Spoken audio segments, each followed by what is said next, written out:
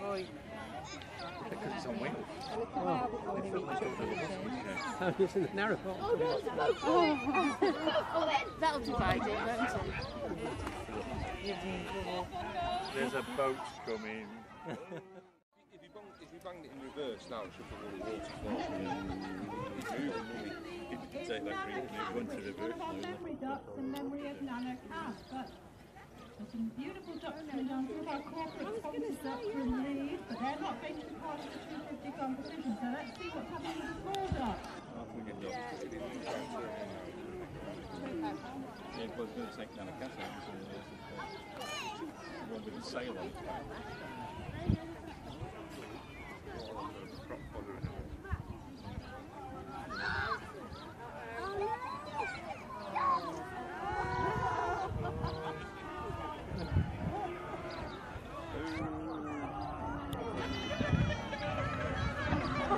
We're going to have to do that every time it's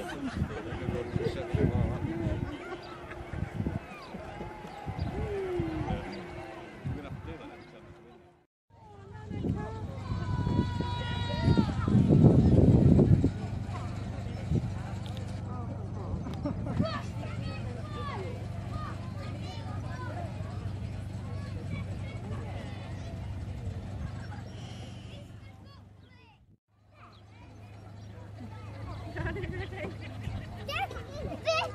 Whoa, the bigger duck.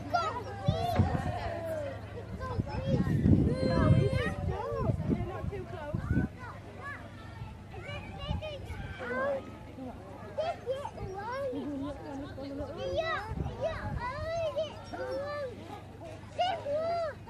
Is it more? Oh, he's going backwards. I'm not sure which one we're racing. I